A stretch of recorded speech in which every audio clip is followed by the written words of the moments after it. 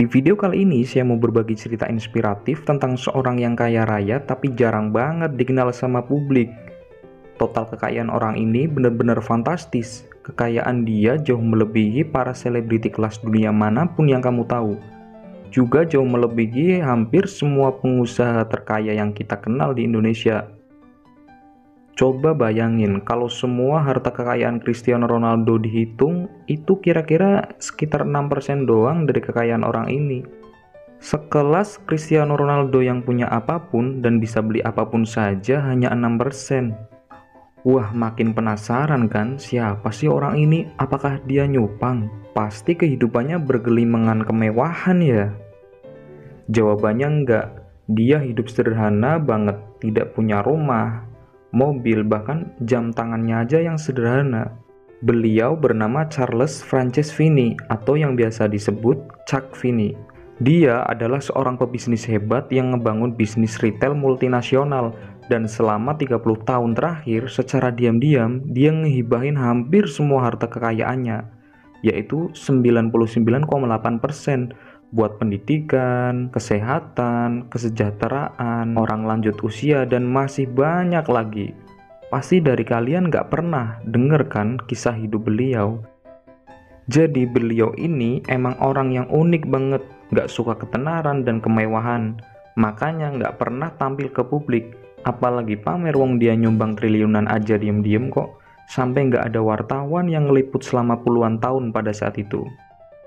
Jadi Chuck Finney itu siapa sih? Chuck Finney adalah seorang keturunan Irlandia yang lahir tahun 1931 di New York, Jersey, Amerika Serikat. Pada saat itu, Amerika sedang dilanda depresi ekonomi yang sangat merikan selama 10 tahun. Terus disusul Perang Dunia II selama 6 tahun. Orang tua Chuck Finney juga bukan orang yang kaya raya, Ayahnya seorang pegawai asuransi dan ibunya adalah seorang perawat di rumah sakit.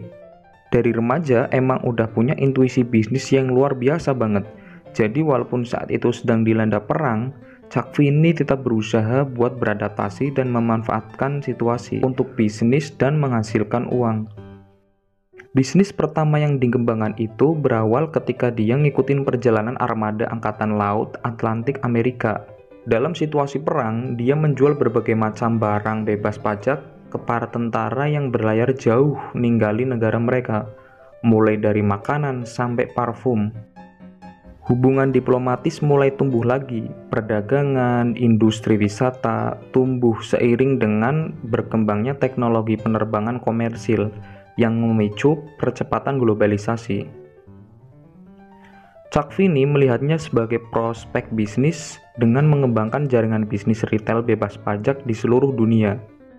Perusahaan Finney bernama DFS sampai dividen pemegang saham meningkat dalam waktu 10 tahun. Sejak 1982, dia ngehibahin harta kekayaannya untuk yayasan amal. Hal ini tapi tidak diketahui banyak orang. Keren banget kan? Tokoh ini juga menginisiasi program ajakan beramal untuk orang-orang super kaya dan ikut menginspirasi Bill Gates dan Warren Buffett untuk ngembangin yayasan amalnya. Beliau sudah berdonasi sekitar 99,8% harta kekayaannya. Masa tua beliau juga sederhana banget. Beliau tinggal di sebuah apartemen kecil di San Francisco bersama istri tercintanya.